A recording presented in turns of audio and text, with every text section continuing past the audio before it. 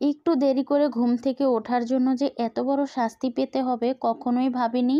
সকাল থেকে সন্ধ্যা একদম না খেয়ে কাটিয়ে দিতে হলো। কি ভুলের জন্য এত বড় শাস্তি পেলাম সেটাই আপনাদের সাথে শেয়ার করব। আসসালামু আলাইকুম, সবাই কেমন আছেন? আলহামদুলিল্লাহ, আমরা মোটামুটি ভালোই আছি।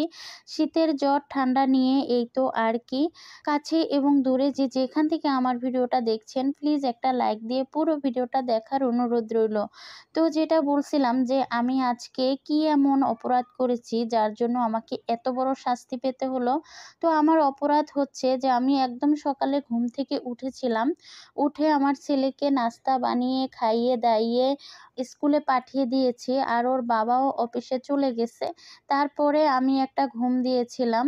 দুপুরে রান্না বান্না না করেই ঘুম থেকে উঠে রান্নাঘরে এসে দেখি এক ফোঁটাও পানি নেই কারেন্ট নেই, পানি নেই মানে একটা বাজে অবস্থার মধ্যে পড়ে গেছি।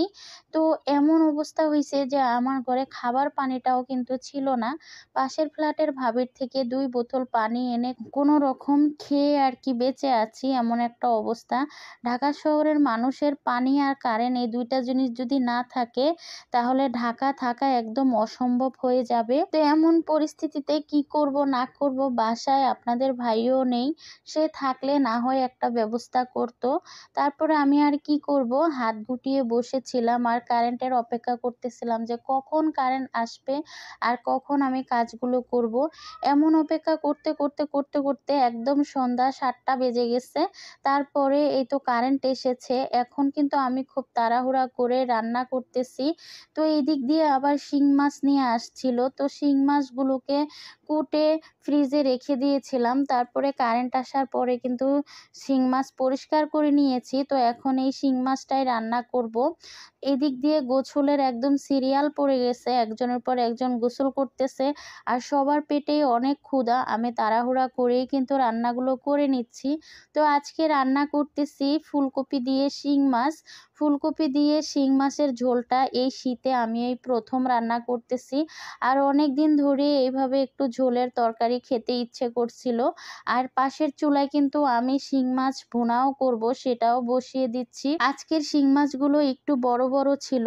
তো এই শিং মাছটা খেতেও ভালো লাগবে। একদম জেতা শিং মাছ ছিল। তো এই তো আমি একদিকে ভুনা বসিয়ে দিয়েছি, আরেকদিকে তরকারিটা রান্না করতেছি। এই দিক দিয়ে খিদায় আমার দুই ছেলে তাড়াহুড়া করতেছে খাওয়ার জন্য, তো রাইস কুকারে ভাতটাও কিন্তু বসিয়ে দিয়েছি। আর এই তো আমি ফুলকপিগুলো কষিয়ে এখন ঝোলের জন্য পানিটা দিয়ে দিচ্ছি আর মাছগুলোও দিয়ে দিব। আর এই দিক দিয়ে এই তো শিং মাছটাও কষানো হয়ে গেছে, এখন ঝোলের জন্য পানি দিয়ে দুটা তরকারি ঢেকে দিব, তারপরে আমি রান্নাঘরটা পরিষ্কার করে নিব। এই ফাঁকে। আর এই তো রান্নাঘরটাও পরিষ্কার করে নিয়েছি। আর এদিক দিয়ে দুইটা তরকারি প্রায় হয়ে গেছে। এখন একটু ধনিয়া পাতা দিয়ে নামিয়ে নিব। আর আজকে ফুলকপির তরকারিটা দেখতে মাসাল্লাহ এত সুন্দর হয়েছে। খেতেও অনেক বেশি মজা হয়েছে। শিং মাছ ভুনার থেকেও সবাই এই ফুলকপির তরকারিটাই বেশি পছন্দ করেছে। আমার জীবনে আমি এই ফার্স্ট এই ধরনের বিপদে পড়েছি। এর আগে আমি এ ধরনের বিপদে কখনোই পড়িনি। তো আজকে থেকে আমার একদম ভালোভাবে শিক্ষা হয়ে গেছে। এখন থেকে সব সময় বাসায় পানি ভরে রেখে দিব যাতে এরকম বিপদে পড়লে কাজে লাগে।